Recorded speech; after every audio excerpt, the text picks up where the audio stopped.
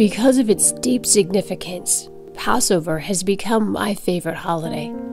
So I want to share with you the basic elements required to set up a Passover Seder meal. I typically set up the table the day beforehand and cover it with sheets to keep it free of dust. The next day, it's ready to go. We use two cups, one for wine or grape juice, and the other for water with the meal. I also use two napkins, since one is used during the Seder service and the other for the meal. It's traditional to have fresh flowers on the Passover table. I also like to add little accents to the table that are meaningful, like the Kiddush cup my dad got in Israel and the prayer shawl I bought in Jerusalem. Each person has a Haggadah, the book for reading the liturgy, and I will often put it on the chairs if my table is very full. That way, it's accessible for each person as needed. I prepare the food on the day of Passover so it's fresh. Certain elements are required for the Seder, so I'll run through the list of those things that are necessary to prepare.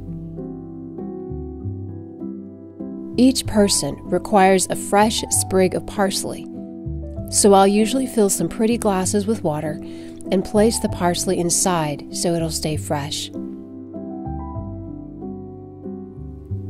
I place one of each element at the head and foot of the table. This way, I can use one near me to illustrate as I lead the service, and the other can be passed around after I demonstrate. You'll also need some little bowls of salt water for dipping the parsley in. I like to add a spoon so people can stir it just before using.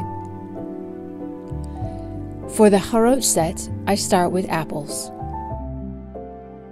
You can use a food processor or a hand grater for this.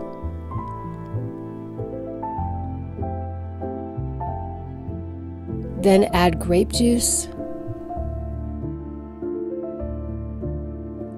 honey to taste, and a lemon or lime to help preserve the color. You can add some nuts. I like to use pecans. You can also add cinnamon if you like. I put these in two dishes, cover and refrigerate them until it's time to start the Seder. Any extra can be kept for later. It's traditional to use horseradish for the bitter herbs. I like to find the refrigerated kind because that is the strongest. For unleavened bread, we use matzah, and we like the gluten free kind. We think it actually tastes better than the regular kind. Matzah gets stale very quickly, so I like to put it in a Ziploc bag and then set it on the table. I remove the bag just before starting the Seder. You'll need to save three pieces and reserve them for your matzah tash bag. If you don't have a bag, you can fold a napkin or linen cloth in quarters and place one cracker in each of the three pockets. This will go on the table near the leader's reach and will be used within the Seder service.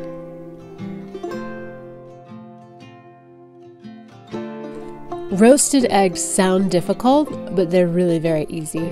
Hard boil one egg for each guest, and once they are cool, hold the eggs over a candle to let the flame leave black streaks of soot. This doesn't affect the inside of the egg, and you can peel and eat them just like normal.